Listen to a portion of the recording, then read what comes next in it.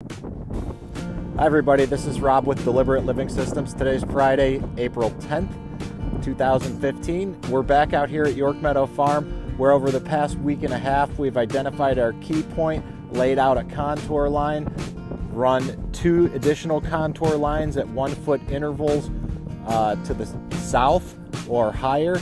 And what we're going to do today is set up the laser level and start running additional contour lines one and two feet down towards the uh, northeast side of the property. So come on, let's uh, let's check it out and set up the level. Okay, we've got the laser set up at an arbitrary point. You can see the yellow flags, which indicate the contour line from the key point.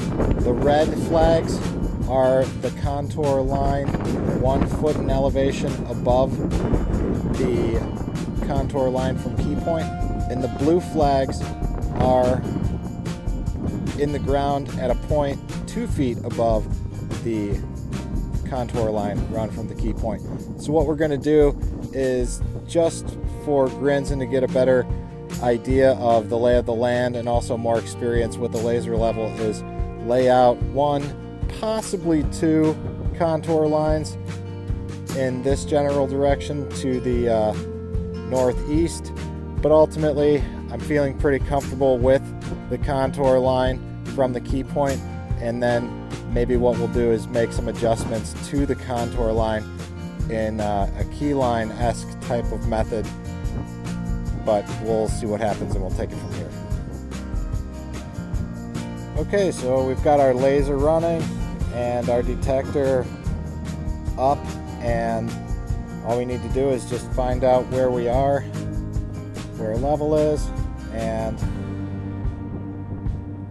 once we have an initial point set, we can do some quality assurance checks on other points and make sure that we're set on contour and then take it 12 inches lower.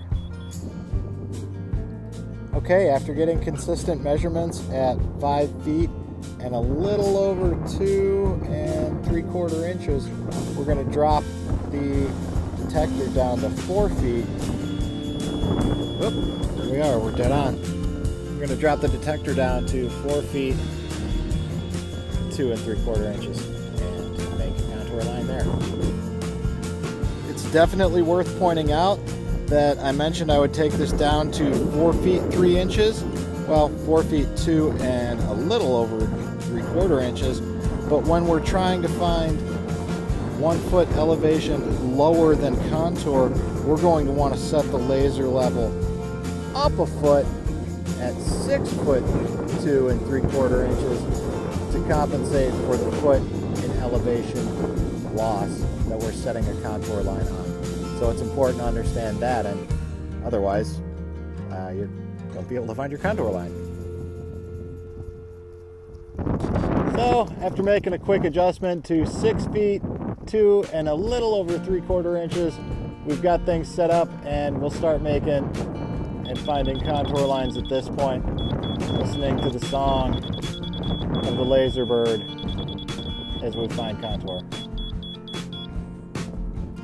I feel like after laying out just four or five flags and taking a look at the previous contour line, we can begin to identify a pattern in the land and almost move to exactly where our next flag is going to be located. It becomes easier once we step back and allow ourselves to simply read the landscape.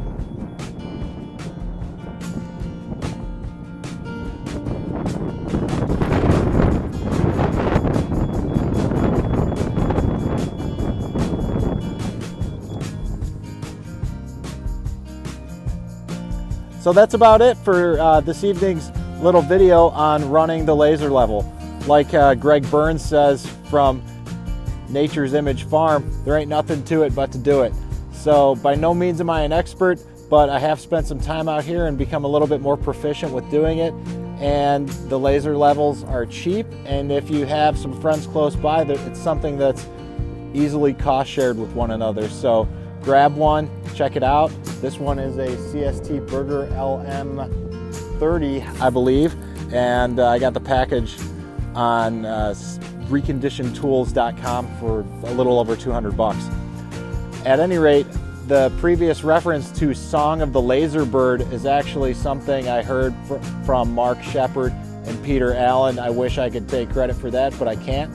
Um, a lot of what I'm passing on through these little videos are is information that I learned from those guys and many others. So as I learn things, I'm going to try and continue to share uh, the sources with you guys and just share the knowledge.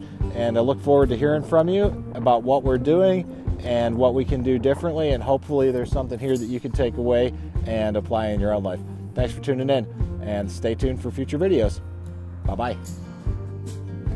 Okay, I decided to include one final video as we're wrapping up the evening here.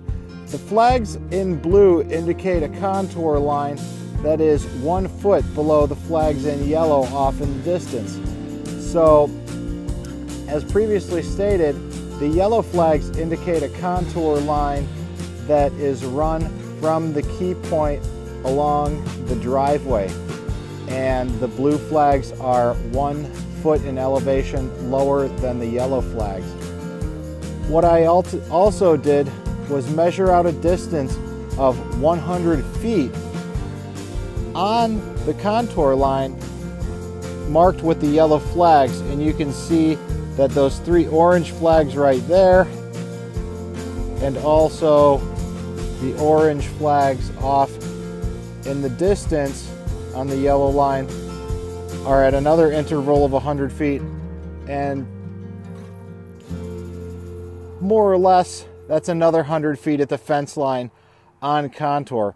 So I think what we're going to do is take the contour line marked in yellow, which is the contour line from the key point along the driveway. We're going to have a key line run between somewhere between 0.25 and 1%, which is going to direct the water, which is pooling near the driveway, down towards this direction. 0.25 and 1% off of that contour line will make or provide us with a line that is somewhere in this general vicinity and in between the yellow and in between the blue, ultimately directing water towards the fence line somewhere down in that direction. And ultimately, what we might have is a small pond there, which we will utilize as a watering area for livestock when we cycle them through the future area that will become our food forest and silvopasture. So stay tuned and we'll watch this all come together.